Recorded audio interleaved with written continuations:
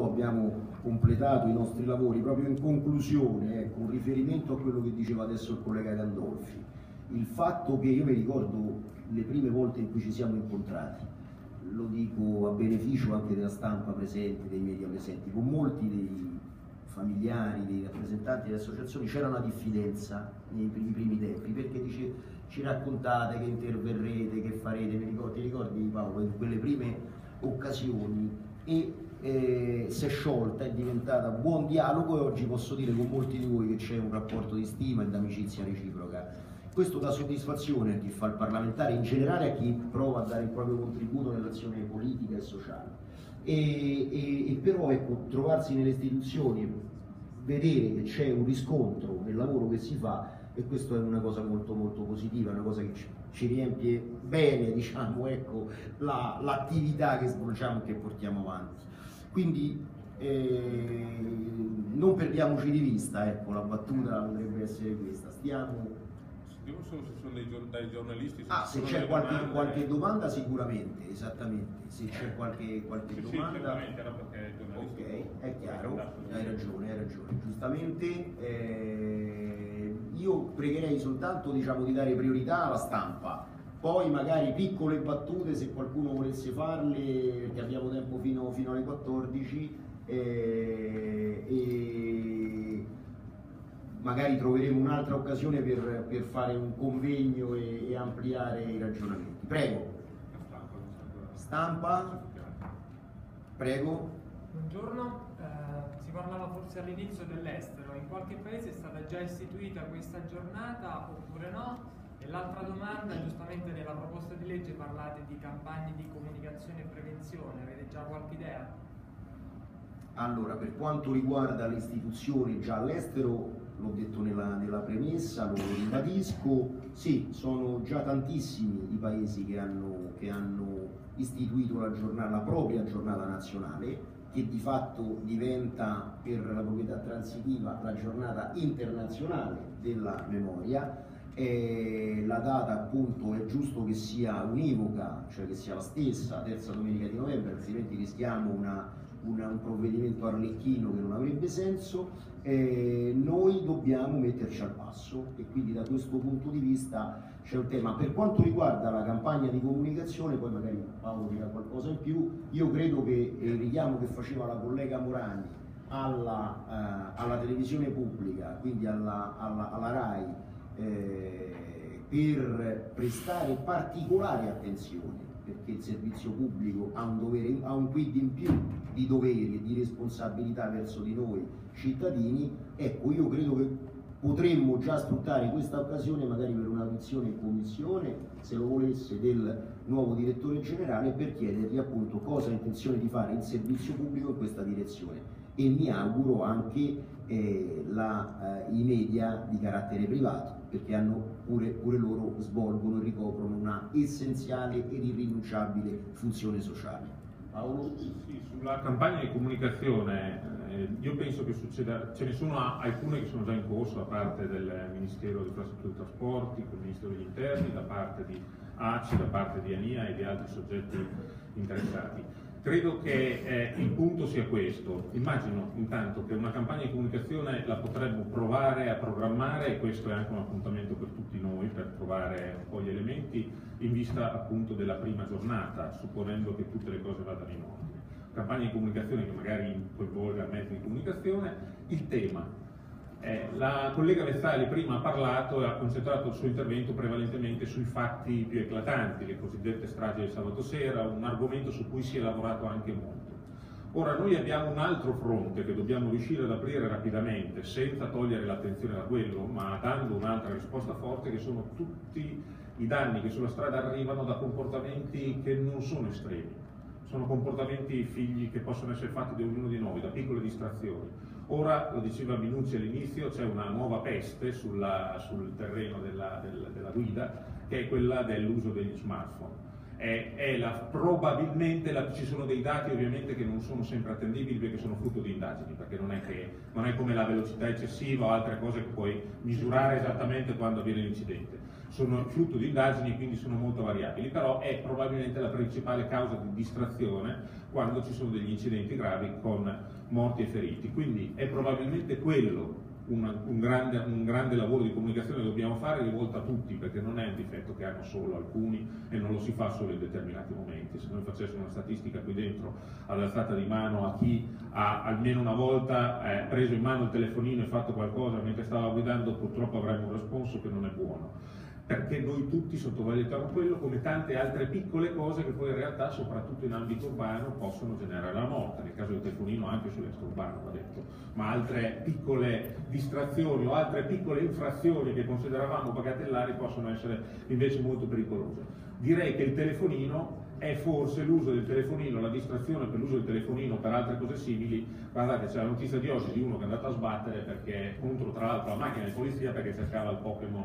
Io non ho ancora capito cos'è questa cosa del Pokémon perché sono vicino ai 50 anni quindi comincio a perdere le cose, le case più, più vicine, però ho capito che c'è un altro problema che dobbiamo affrontare. In generale il tema è che dobbiamo tamponare questa falla che si sta aprendo sul fronte del, del, dei rischi. Bene. Posso Altri... farvi una, una domanda sull'omicidio stradale? giornalista Eh, oh, scusa, scusa Giuseppe, è Allora, solo no, una no, no, no, proprio riguarda Paolo, la Gazzetta di Reggio Emilia. È una mia risposta No, no, tu sei la controparte da parte di questi amministratori, cioè chiedono una revisione del codice della strada sulla fattispecie che riguarda le responsabilità de- degli enti proprietari della strada. Guarda, Giuseppe, No, no, no, no, hai fatto la domanda che speravo mi facesse un No, no, no, no, no, no, no, dico io Vai, perché mm, vorrei che ci fosse una risposta precisa all'Anci, perché questo è l'Anci che lo chiede. Cioè se noi un domani saremo imputati di omicidio stradale, nessuno ci tutela, diciamo così, sarebbe colpa nostra, ma perché gli enti proprietari delle strade, i responsabili della progettazione, della non omologazione delle infrastrutture non debbono essere condannati anche per reato di omicidio stradale? Vorrei che voi su questo deste una risposta. Secondo, sulla giornata mondiale, per una precisazione, dato che nella proposta di legge non è citata e che molti non lo sanno. Nel 1995 la nostra federazione europea, la Federazione Europea in Vittin della Route, ha promosso la giornata mondiale che si è estesa in tutti i continenti. Nel 2005 Marcel Leghi, fondatore della FEVRE, che è stata eh, festeggiata nel 25 anniversario proprio il 6 di, di settembre scorso a eh, Bruxelles, ha promosso con l'ONU questa giornata. La giornata è unica, la terza domenica di novembre. Non è che si può dire che giustamente come diceva Emiliano si fa il 5, è la terza domenica di novembre. E questa deve essere la, la storia della, della giornata. L'ultima cosa che vi vorrei chiedere, perché l'avevamo presentato, se vi ricordate, a luglio dell'anno scorso, nella mozione che poi fu declassata all'ordine del giorno da parte, non certo per responsabilità vostra, presentata a 55 deputati del vostro gruppo, e ci sono due temi importanti. La legge d'assistenza alle vittime, Fiorella Toro che dirige il Dipartimento Vallone belga, della, lei fa assistenza alle vittime, sono- in molti paesi ci sono già. Noi apriremo a- in autunno, grazie all'ACE, un centro nazionale di assistenza che verrà inaugurato dall'ambasciatore dell'ONU per la sicurezza stradale Jean Todd. Ma non è lo Stato ad aprirlo, è un- un- un'associazione privata di interesse pubblico insieme ad altre associazioni private. Noi, Paolo, Emiliano, dobbiamo far presto. Ci sono due gruppi parlamentari che hanno una stragrande maggioranza nel Parlamento, voi e il Movimento 5 Stelle. Io ho parlato con i gruppi parlamentari del Movimento 5 Stelle. Lasciamo perdere Gigi Purpetta e Berlusconi che vi scambiate responsabilità su questo. Siete d'accordo sulla legge, sulla legge per l'assistenza alle vittime? Troviamoci subito per definire insieme questa proposta. Voi e il Movimento 5 Stelle, aperto a tutti, ma partiamo da questa maggioranza solida per farla approvare in tempi rapidi. Prendiamo spunto da quello che dice Giuseppe Cuccione, Scusa, lo sai, sapete benissimo che non abbiamo problemi di primogenitura politica, noi vogliamo risolvere le questioni, siamo a disposizione assolutamente su questo terreno, su questo terreno eh, disponibili a- ad arrivare a un punto di sintesi abbastanza facilmente. Vai Allora, su, su quel punto c'è necessità di grande chiarezza, perché in realtà stiamo vivendo dentro un polverone prevalentemente nato da interpretazioni che alcuni quotidiani hanno dato, che poi dopo quotidiani secondari hanno preso, e mettendo così in agitazione i sindaci ci siamo trovati poi a dover gestire questa cosa. Allora, il punto è questo. Prima non è che non esistesse l'omicidio stradale, esisteva una cosa che nessuno di noi chiamava omicidio stradale, che era l'omicidio colposo con l'aggravante dovuto all'infrazione del codice della strada e aveva suo, i suoi reati aggravati rispetto all'omicidio colposo base. Questi reati aggravati sono rimasti e sono rimasti con la identica definizione. Siccome la definizione è per infrazione al codice della strada, le infrazioni al codice della strada le può fare un automobilista, ma può fare anche il proprietario della strada. Ergo, prima e dopo l'approvazione della ulteriore aggravante, i proprietari delle strade, i responsabili delle strade, i comuni, l'ANAS, la società autostrade, eccetera, erano, province. le province, erano e continueranno ad essere responsabili se alcune delle cose fatte sono violenti, viol, eh, eh, palesi violazioni al codice della strada relativamente ai danni che questi possono provocare. Nulla è cambiato nel livello di responsabilità che hanno i sindaci, che rimane tale, sindaci, presidenti di provincia, eccetera, eccetera, e tant'è vero che ci sono sindaci, tecnici, funzionari di varie amministrazioni che sono sotto processo per fenomeni di questa natura. Non è cambiato nulla. Due, le due fattispecie che abbiamo introdotto e che chiamiamo come reato omicidio stradale sono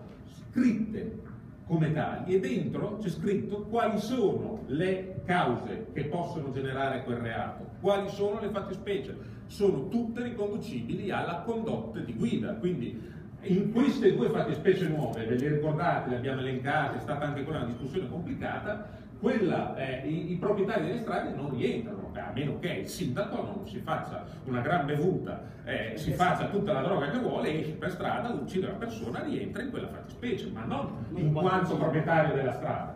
Non esiste. Era Tempesto in bicchiere d'acqua in cui eh, ANCI, io ve lo dico perché l'ho detto ad ANCI e sto costruendo un ragionamento con loro perché, eh, siano più attenti anche hanno detto una grossissima sciocchezza, se non fosse una conferenza stampa avrei usato un'altra parola, cioè hanno usato strumentalmente un argomento che non era stato adeguatamente valutato da alcuni organi di stampa che oggettivamente ci hanno fatto la campagna contro. Da subito e continuano a lavorare contro questa cosa, va detto perché io ogni tanto intervengono nei, io personalmente nei quotidiani online per dire guardate che state dicendo una montagna di sciocchezze, lo fanno per distruggere questa, questa nuova norma, eh, hanno preso quella cosa, l'hanno trasformata in un'occasione politica per dire vogliamo dei soldi per la manutenzione delle strade. Guardate, che gli si diano o non gli si diano i soldi per la manutenzione delle strade ai comuni, cosa su cui io sono favorevole, tant'è vero che in quel codice della strada di cui parlavo, che dormienta al Senato da due anni e che dovrebbe essere approvato, si parla anche di come si può rispondere al tema della manutenzione. Però eh, loro sono responsabili uguali, cioè non è che cambia, quindi gli si può dare più soldi, ma la responsabilità che i sindaci hanno era prima, sarà dopo e continuerà ad essere. Una tempesta in un bicchiere d'acqua, una cosa nata per far danno alla legge sull'omicidio stradale che oggi sta avendo alcuni effetti collaterali. Grazie.